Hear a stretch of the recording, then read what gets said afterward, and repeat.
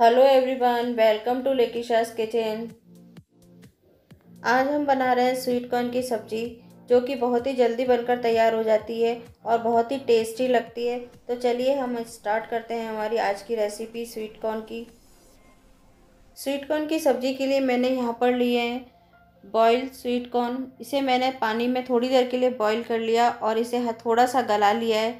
साथ ही में मैंने यहाँ पर लिए बारीक कटी हुई प्याज और बारीक कटे हुए टमाटर, साथ ही में एक लिए हरी मिर्च, बारीक कटी हुई। सब्ज़ी के लिए यहाँ मैंने कढ़ाई को गरम करने रख दिया है और उसमें दो चम्मच ऑयल गरम करा है। ऑयल के साथ मैं यहाँ डाल रही हूँ एक चम्मच बटर। बटर से इसका टेस्ट और बढ़ जाता है। तेल और बटर को गरम करने के बाद में मैं इसमें डाल रही हूँ दालचीनी, तेज पत्ता दो छोटी इलायची, दो लौंग और थोड़ा सा ज़ीरा। इन सभी मसालों को हल्का सा तड़कने के बाद में हम इसमें डाल रहे हैं बारीक कटी हुई प्याज। इसे भी हम हल्का सा फ्राई करेंगे। इसे बहुत ज़्यादा हमें नहीं फ्राई करना है। बस इसका हल्का सा कलर चेंज करना है। जब तक हमारी प्याज फ्राई होती है, जब तक हम इसके लिए निकाल लेते हैं मसाले, यहाँ मैं ले रही हूँ चौथाई चम्मच हल्दी पाउडर। आधी चम्मच नमक, डेढ़ चम्मच लाल मिर्च पाउडर। लाल मिर्च पाउडर मैंने कश्मीरी लाल मिर्च लिया है। दो चम्मच धनिया पाउडर। नमक आप अपनी टेस्ट के अकॉर्डिंग कम ज़्यादा कर सकते हैं इसमें। प्याज हमारी यहाँ पर भुन चुकी है। इसमें हम हम डाल लेते हैं अपनी कटी हुई हरी मिर्च। हरी मिर्च ऑप्शनल है, अगर आप पसंद करते हैं तो डालें। मुझे इसका हरी मिर्च का फ्लेवर बहुत बढ़िया लगता है इसमें। साथ ही में इसमें यहाँ डाल लेते हैं हम लहसुन और अदरक का पेस्ट। लहसुन और अदरक डालकर भी हम इसे दो मिनट के लिए भून लेते हैं। इसे बहुत ज़्यादा इसे भी नहीं भूनना हमें, बस इसका कच्चापन निकलना चाहिए। लहसुन और अदरक को भूनने के बाद में हम इसमें डाल लेते हैं अपने मसाले। मसालों को हम अच्छे से इसमें भून लेंगे दो मिनट। मसाले भूनते वक्त हम अपनी गैस की फ्लेम को लो रखेंगे। मसाले इसमें जलने नहीं चाहिए लगातार चलाते रहेंगे इसे। इसे भी दो मिनट भूनने के बाद हम इसमें डाल देंगे कटे हुए टमाटर।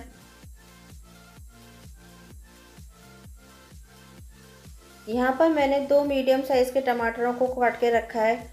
और दो मीडियम साइज़ की प्याज का यूज़ किया है यहाँ पर मैंने। यहाँ मैं डाल रही हूँ थोड़ा सा पानी, जिससे हमारे टमाटर जल्दी गल जाएँ। पानी डालकर इसे लो फ्लेम पर थोड़ी सी देर के लिए कवर कर देते हैं, ताकि हमारे टमाटर अच्छे से गल पाएँ। देखिए, टमाटर हमारे मैशी हो चुके हैं। हमारा मसाला काफ़ी कुछ बन चुका है।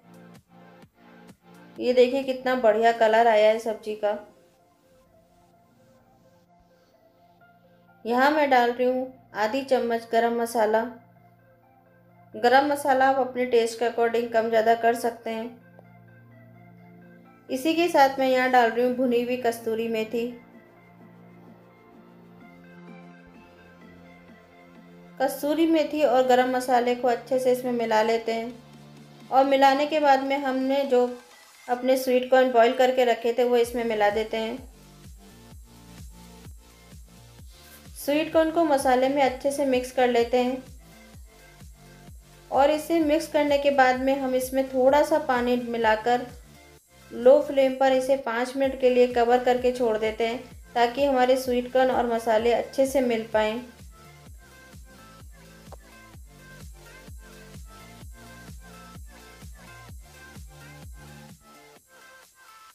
सब्ज़ी को खोल कर देख लेते हैं, हमें सब्ज़ी कैसी बनी है हमारी। ये देखिए कितनी बढ़िया सब्ज़ी बनकर तैयार हुई है। इसका कलर भी इतना बढ़िया आ रहा है और खुशबू तो बहुत ही बढ़िया आ रही है इसकी। सब्ज़ी बनकर हमारी तैयार है। बस इसमें थोड़ा सा हमें डालना है। थोड़ा सा बटर ऑप्शनल है। मैं यहाँ पे चौथाई चम्मच बटर डाल रही हूँ। यह ऑप्शनल है, अगर आप चाहें तो डालें, वरना ना डालें। इसका बहुत अच्छा टेस्ट आता है ऊपर से डालने के बाद में। साथ ही में मैं यहाँ डाल रही हूँ, जो घर की क्रीम है, जो हमने मलाई जमती है, उसको थोड़ा सा फेंट कर वो इसमें डाल रही हूँ। इससे ग्रेवी का कलर भी बहुत बढ़िया हो जाता है और ये क्रीमी फॉर्म आ जाता है और बहुत टेस्टी लगती है। इस सब्ज़ी के आगे आपको होटल और रेस्टोरेंट की सब्ज़ी भी फीकी लगेगी। ये मेरी गारंटी है, ये बहुत ही बढ़िया टेस्टी सब्ज़ी बनकर तैयार होती है। आप भी इस सब्ज़ी को ज़रूर ट्राई करें, ये बहुत ही बढ़िया बनती है। फाइनली अब इसमें हम डाल लेते हैं कटा हुआ हरा धनिया। और इसे करते हैं अब प्लेटिंग आपको ये रेसिपी कैसी लगी प्लीज़ कमेंट बॉक्स में मुझे ज़रूर बताएँ, ताकि मुझे ये पता चला चलता रहे कि आपको रेसिपी पसंद आई या नहीं, या रेसिपी में क्या कमी है, ये कमेंट बॉक्स में आप ज़रूर बताएँ मुझे। और अगर आपने मेरे चैनल को सब्सक्राइब नहीं कर रखा तो सब्सक्राइब करें लाइक शेयर ज़रूर करें, ताकि मुझे मोटिवेशन मिलता रहे और मैं इसी तरह की रेसिपी आपके लिए लाती रहूँ।